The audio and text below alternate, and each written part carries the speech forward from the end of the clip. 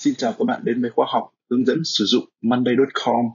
Ngày hôm nay, tiếp tục với chuỗi khóa học, chúng ta sẽ cùng nhau làm việc với chức năng import dữ liệu trên Monday.com. Thì giả sử bạn đang sử dụng các hệ thống khác để quản lý dữ liệu, ví dụ như là trên Excel này, trên CSV, trên Trello, trên Jira hay một vài hệ thống khác đấy. Bây giờ bạn muốn chuyển đổi tất cả dữ liệu từ các hệ thống đó sang Monday.com ấy thì Monday.com có hỗ trợ chức năng là import dữ liệu từ các file nguồn đó để tạo mới một cái bot trên Monday.com. Thì hôm nay chúng ta sẽ cùng nhau nghiên cứu tìm hiểu kỹ xem là cách thức chúng ta chuyển đổi dữ liệu từ các hệ thống sang Monday.com như thế nào nhé. Thì trong bài học ngày hôm nay ấy, chúng ta sẽ tập trung vào Excel này, CSV và Trello System nhé.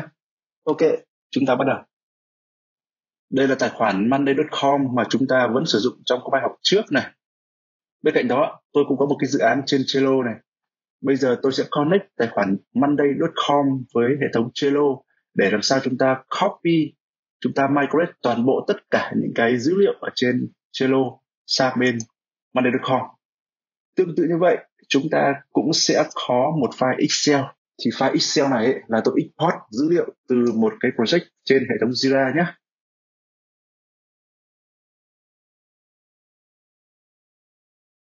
Để kết nối giữa monday.com với Trello ấy, chúng ta click nút cộng nhé.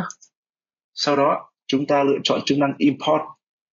Thì trong phần import chúng ta sẽ lựa chọn là option là Trello và sau đó chúng ta phải cấp quyền để cho phép monday.com truy cập vào tài khoản Trello của các bạn nhé. Bạn click vào nút allow này để cho phép connect. Đó và sau đó thì hệ thống monday.com ấy sẽ dựa vào cái dữ liệu từ Trello để tạo ra một cái bot ở trên monday.com cho các bạn nhé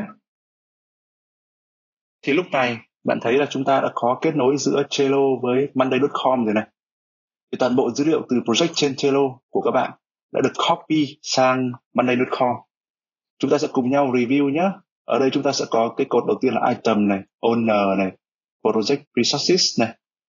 Thì bên đây chúng ta sẽ có project resources, question for next meeting, to do pending, block and done. Thì tương ứng với các cột bên trên Trello thì bên này chúng ta cũng sẽ có các cột tương ứng a question for next meeting to do pending block done label và due date. Từ dựa vào toàn bộ tất cả các dữ liệu trên Trello ấy, thì Monday.com cũng sẽ khởi tạo các cột này, các dòng tương ứng. Sau đó, bạn có thể thay đổi layout để view hay group những cái dữ liệu đã được copy từ Trello sang Monday.com nhé. View đầu tiên mặc định sẽ view ở dạng project phase. Bạn có thể grouping này theo group. Và tiếp theo chúng ta có thể view ở dạng to do list này.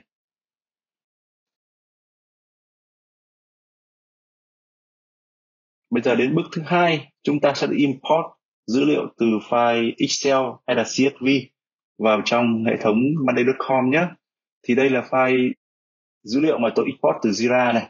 Nó định dạng CSV bây giờ chúng ta sẽ import toàn bộ dữ liệu từ file này vào trong monday.com thì cũng tương tự như việc import dữ liệu từ Trello sang Monday ấy, thì tôi sẽ click vào nút Add Item to Workspace và dấu cộng nhé.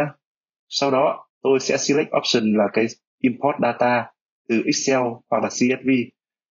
Có nghĩa khi bạn import dữ liệu từ file Excel hay là CSV vào trong Monday.com ấy, thì các bước xử lý sẽ tương tự nhé. Tôi sẽ mở file Jira lên này. Sau đó bạn sẽ click vào nút Let Customize Join New Bot này. Ở đây sẽ có 3 bước. Thì bước thứ nhất, bạn phải lựa chọn là First Row thì hệ thống đã lựa chọn cho chúng ta rồi. Next. Bước thứ hai là chọn First Column này, cột đầu tiên. Thì bước thứ ba thì bạn có thể customize các column có thể thay đổi là dạng text, dạng number hay là theo kiểu status thì tôi sẽ để mặc định nhé. Bạn sẽ click vào nút Create Bot này sau đó đợi để hệ thống tự import dữ liệu ở trong monday.com thôi. Và sau đó nó sẽ khởi tạo một cái bot mới cho dữ liệu từ file Excel của các bạn nhé. Ở đây chúng ta sẽ có một cái bot là Jira này. Nó đặt tên, xem xem như cái tên file của CSV ở đây chúng ta cũng có các cột này, item này, issue key, issue id parent id issue type, status, project key.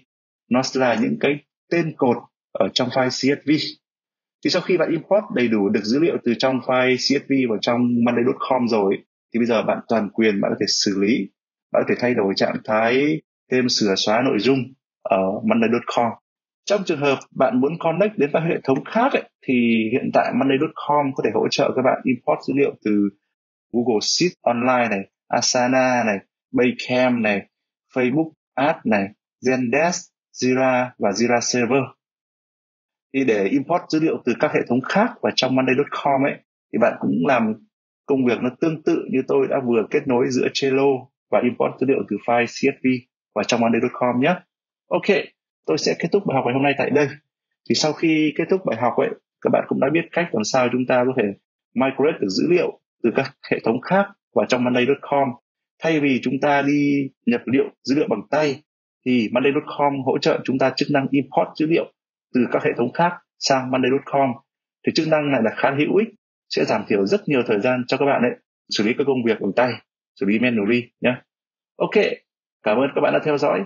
Hẹn gặp lại các bạn trong các bài học sau. Bye bye.